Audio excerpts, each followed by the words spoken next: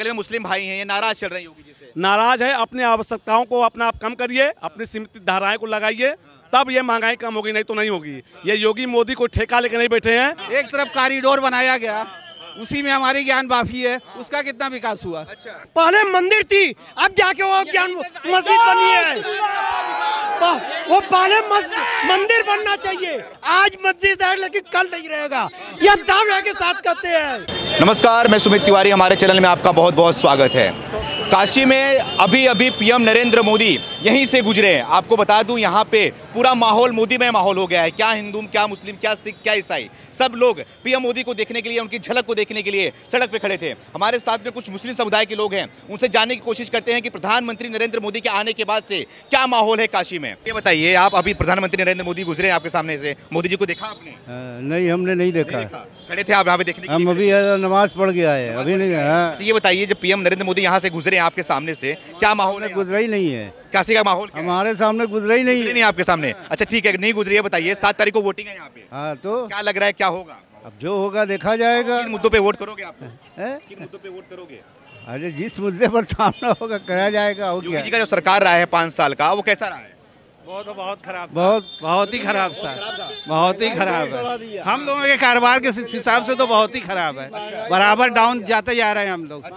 तीन साल से बराबर डाउन पे ही जा रहे हैं। अपना तो हाल यही है। मुश्किल हो गया है। जीना मुश्किल हो गया। हाँ महँगाई बहुत बढ़ाया महँगाई कम करवाई है अच्छा। सिलेंडर का दाम बोले सबको राशन मिल रहा है। कम करवाई है राशन से क्या राशन खाली फाकेगा। सिलेंडर कहाँ से आएगा? सिलेंडर का पैसा नहीं है। कौन देगा? मोदी जी देंगे? है? अब बिजली बहुत बढ़ा दिया। हम लोग दे नहीं पा रहे। हमारे वो कर्जा है पचास हज़ार का। ये कौन देगा? मोदी जी देंगे। कौन लगे? कौन रहता है कौन देगा आपको है? कौन देगा फिर आपको? तो दिलाइए। दिलाइए मोदी से दिलाइए। मतलब मोदी के अलावा कौन सा ऑप्शन है आपके पास? अखिलेश यादव, बदलाना चाहिए। योगी आदित्यनाथ या फिर अखिलेश यादव? हाँ जो भी है कोई ऑब्जेक्शन क्या है? हम हमारा है भाई महँगाई कम करे बस पब्लिक खुशहाल रहना चाहिए। सरकार की कम करने के लिए कौन सा बेहतर है? अखिलेश यादव बेहतर है या योगी आदित्यनाथ बेहतर है? कोई भी आए बस सरकार बढ़िया पब्लिक को जो है आराम मिलना चाहिए। बस और कोई बात नहीं। और क्या परेशानी है आपको योगी सरकार से? कारोबार चलना चाहिए हम लोगों का और क्या। है बस महँगाई बार का ठप हो गई है आमदनी आदमी की घटी है। महँगाई चाप रही है। हर आदमी जो है अपने लेवल से नीचे चला जा रहा है। अच्छा, जो है हूँ। क्या नाम है आपका? रमेश तिवारी। रमेश तिवारी जी ये बताइए योगी जब यहाँ से गए क्या माहौल है आप लोग के बहुत खुशी का माहौल है यहाँ एक उत्सव बना हुआ है और सभी पब्लिक में उत्साह भरी हुई है। इस बार फिर योगी जी आ रहे हैं अपने पूरे ताकत के साथ। बगल में मुस्लिम भाई हैं ये नाराज़ चल रहे हैं योगी जी से। नाराज़ है अपनी आवश्यकताओं को अपना आप कम करिए अपनी सीमित धाराएँ को लगाइए तब ये महँगाई कम होगी नहीं तो नहीं होगी। ये योगी मोदी को ठेका लेके नहीं बैठे हैं। हमारी आवश्यकताएँ बड़ी हुई हैं इसलिए महँगाई बड़ी हुई है। ये हम योगी मोदी को लेके कहते हैं ठीक है? पहले चूल्हा चलता था कोयला जलती थी गैस नहीं था तो लोग चलते थे तब भी चलती थी और आज भी। आज लोगों की आवश्यकताएँ बढ़ गई और लोगों को सिर्फ़ आधुनिकता दिख रही है। गैस कहाँ से आएगा? मोदी जी के घर से देंगे। योगी जी का घर से आएगा गाँव से आएगा। ये नहीं सोचते कि वो कहाँ से आ रहा है गैस। हमारे भारत से नहीं आ रहा। है आता था ये आज के डेट में आ रहा है। पहले भी गैस आता था ये आज के डेट में आ रहा है। तो पहले भी आ रहा था। पहले आता था ज़रूर आता था। हाँ ज़रूर देती थी। एक मिनट एक खत्म हो रही है। क्यों नहीं खत्म होगी? आप सुविधा लोगे। सुविधा लोगे तो सब्सिडी खत्म नहीं होगी। हैं? सुनिए। यहाँ पे ये सुविधा ले रहे हैं तो ये महँगाई बढ़ने का कारण जनसंख्या भी है। हम जनसंख्या की ओर ध्यान नहीं देते पहले परिवार दो होता था आज दस है।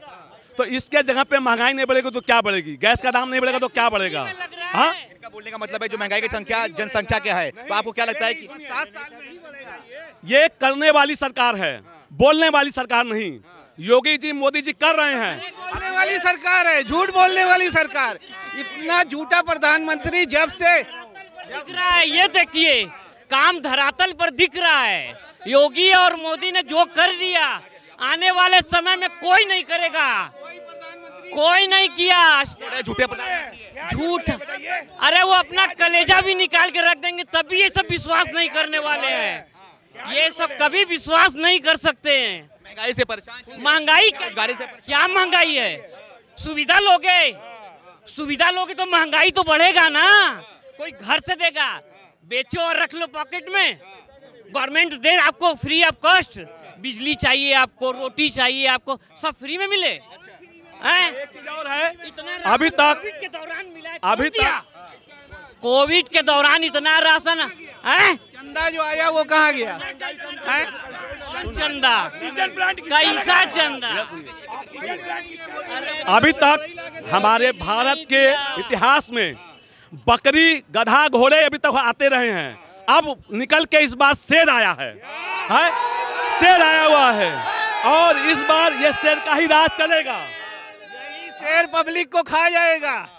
खाए पब्लिक को खा सुनिए शेर ये ऐसा आया है ये सुनिए ये शेर ऐसा आया है कि ये शेर उन गिदड़ों को खा जाएगा जो इनके विरोध आवाज़ उठा रहे हैं।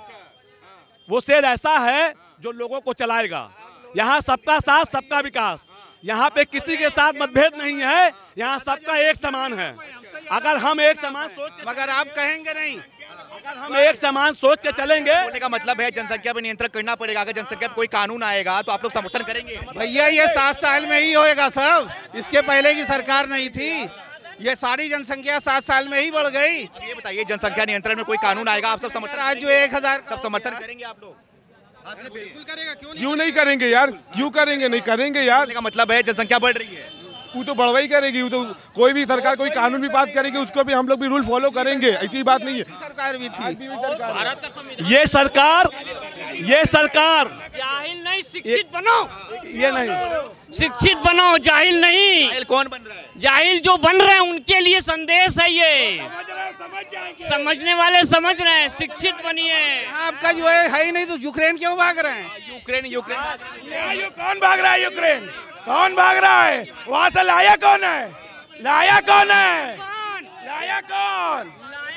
वो तो वो बोल रहे हैं वो बोल रहे हैं यूक्रेन से ला रहे हैं सब। खाली बब्बरबाजी करने से कुछ नहीं होगा। मोदी ला रहे हैं यूक्रेन बस कुछ नहीं होगा। हमारी सरकार हमारी सरकार जो इस समय है वो सबके साथ सबका सोच के चल रही है। जब जब जैसा जैसा हुआ है वैसा वैसा सबके साथ वो कार्य कर रही है वो करेगी। आगे बताइए, आप लोग के साथ, मेरी बात सुनिए, मेरी बात सुनिए। आप लोग के साथ कोई पक्षपात हो रहा है क्या मुसलमानों के साथ? ये सब हम नहीं जानते। पक्षपात तो हो ही रहा है। सरासर पक्षपात हो रहा है। सरासर अरे भाई, शांत रहोगे। शांत रहोगे तब नहीं होगा। शांत हो शांत रहोगे तब ने। पक्षपात नहीं हुआ। आपको पक्षपात नहीं दिख रहा है। एक तरफ़ कॉरिडोर बनाया गया।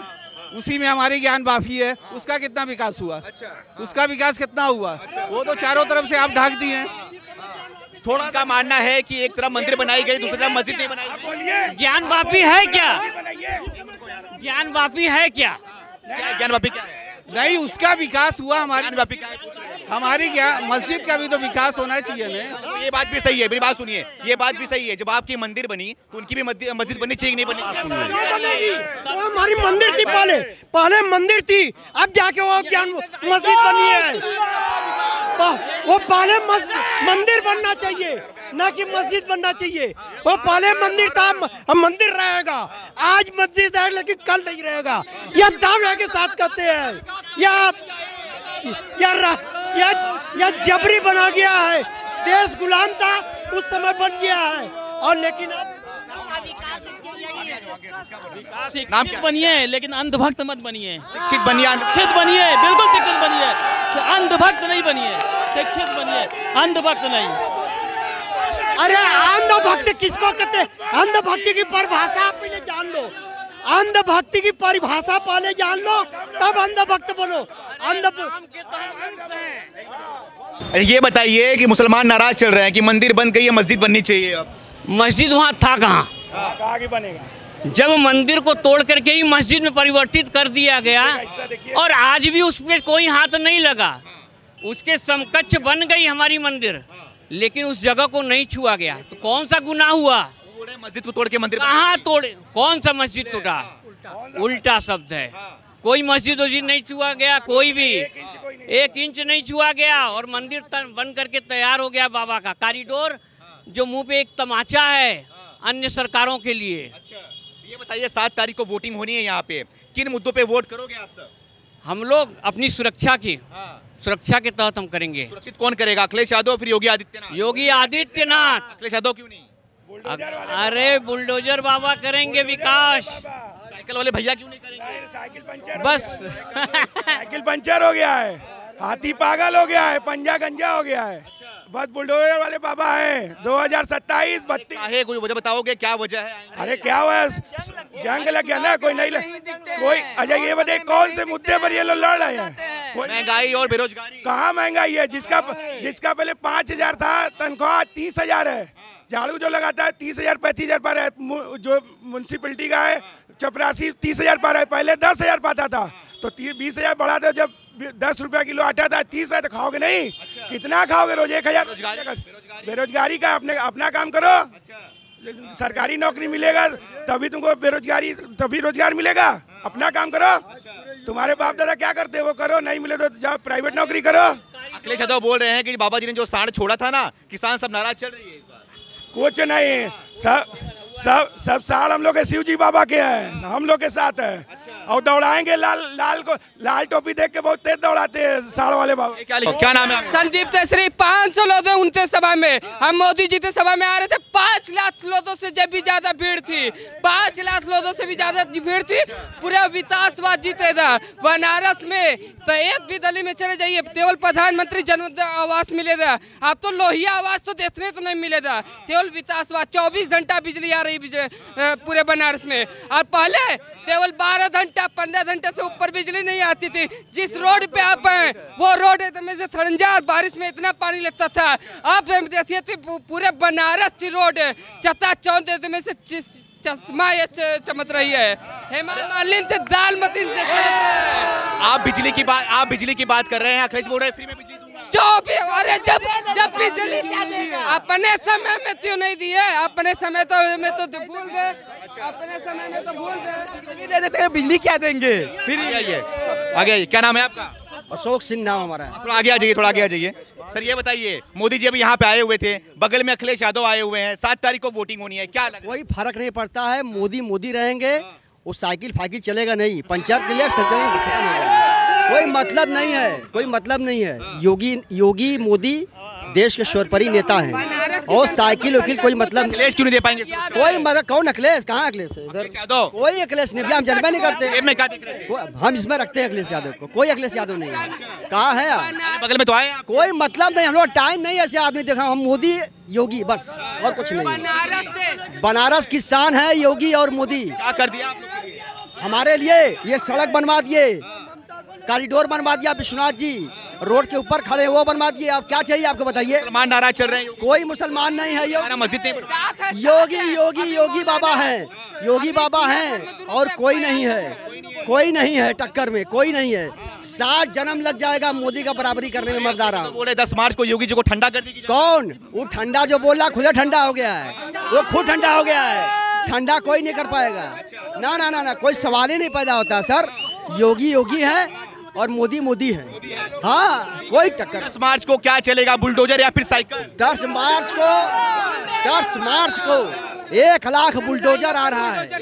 एक लाख बुलडोजर चढ़ेगा। माफियाओं पर दंगाइयों पर माफिया है। अतीब पर मुख्तार अंसारी के घर पर चलेगा। आप देखने का काम करेंगे। मुसलमानों यादवों पे चलेगा। No no no no no जो दंगाई उस पर चलेगा। जो दंगाई है उसके ऊपर चले यहाँ पे आइए यहाँ आओ क्या नाम है आपका? मेरा नाम गुंजन कुमार झा है। बताओ क्या मेरा नाम गुंजन कुमार झा है। और अगर अखिलेश यादव अपने आप को यूपी का बेटा कहते हैं तो वो बंगाल के मुख्यमंत्री ममता बनर्जी को क्यों लाए यहाँ पे? अगर उसमें इतनी काबिलियत था तो पिछले बार तो 2017 का रिज़ल्ट आप जान ही रहे। सुपड़ा साफ़ हो गया चाहे वो सपा रहे भाजपा रहे और इस बार तो विपक्ष नाम का भी नहीं रहेगा उत्तर प्रदेश में। सिर्फ़ मोदी मोदी रहेंगे 355 सीटों पे हम चार सौ बोल रहे हैं अखिलेश यादव। अखिलेश यादव तो मुलायम सिंह यादव तो जीत नहीं पाए थे। मुलायम सिंह यादव नहीं जीत पाए थे जो अपने बाप का सम्मान नहीं करेगा वो राज्य का क्या सम्मान करेगा वो देश का क्या स्वाभिमान बचाएगा इसी से जान लीजिए अखिलेश यादव का कोई अस्तित्व उत्तर अखिलेश यादव को समर्थन देने के लिए ममता बनर्जी आ गई है और सबको बोल रही है एकजुट हो जाइए अखिलेश को क्यों आए क्यों आए क्यों आए आप में अगर अब अग, अग, बंगाल क्या क्या बोल रहे हैं এখানে কিছু চলবে না এখানে যোগী আর মোদি আছে হ্যাঁ এখানে মোদি আর যোগী আছে এখানে মোদি যোগী চলবে अखिलेश यादव কিছু চলবে না এটা ঠেঙা আছে মমতা ব্যানার্জি ওইটা টটি চোর মমতা ব্যানার্জি এই টটি চোর আছে মমতা ব্যানার্জি ওই খেলা খেলা করে করে কলকাতা ট্রেনে ওইখানে বসে যাবে कहाँ के रहने वाले हैं? बंगाल के আমার আমার এখানে গৌরী কেদার খন্ড ছেলে আছে बंगाल के हैं आप? না আমার ইউপি ছেলে যোগী ছেলে হ্যাঁ ममता बनर्जी बोल रही है सब एकजुट हो जाओ अखिलेश को सरकार में लाना है। কিছু হবে না চলে গেছে হ্যাঁ চলে গেছে কিছু হবে না এখানে কিছু না इस बार जो क्या होगा কিছু হবে না যোগী হবে যোগী अब की बार मथुरा की बारी